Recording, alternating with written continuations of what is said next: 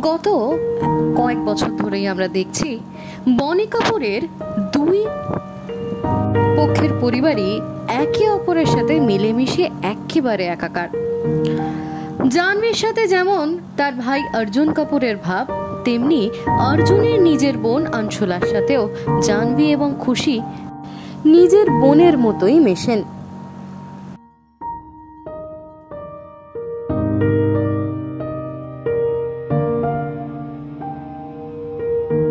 শ্রীদেবীর মৃত্যুর পর এই দুই পক্ষের বাচ্চারাই মাতৃহীন হয়ে গেছিলেন, যার জন্যই হয়তো চার সন্তানকে আরও কাছে নিয়ে এসেছেন বনি কাপুর।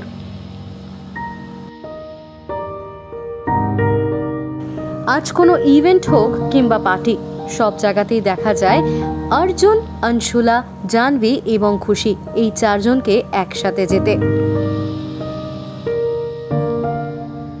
তাই যখন অংশুলা কিছুদিন আগে হসপিটালাইজড হলেন, তখন জাহ্নবীকে বারংবার দেখা গেছে হসপিটালের বাইরে। দিদির জন্য ছোটাছুটি করতে, ডাক্তারের সাথে কথা বলতে।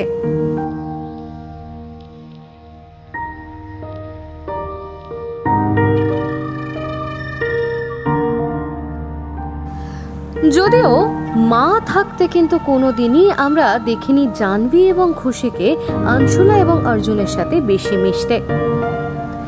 বারংবার যদিও এই কথাও বলা হয়েছে যে শ্রীদেবী আপন করে নিতে চেয়েছিলেন তার দুই সৎ ছেলে মেয়েকে। কিন্তু তারা কোনোদিনই শ্রীদেবীকে আপন করে নিতে পারেননি।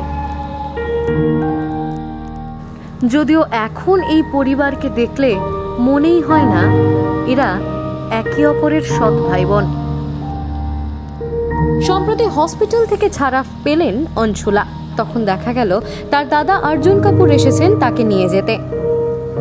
এর মধ্যে মধ্যেই বহুবার বনি কাপুরকেও দেখা গেছে হসপিটালের বাইরে।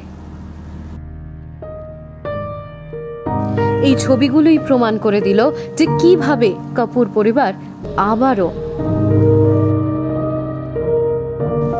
একই ছাদের তলায় চার ভাই বোন কীরকম সুন্দরভাবে আছেন।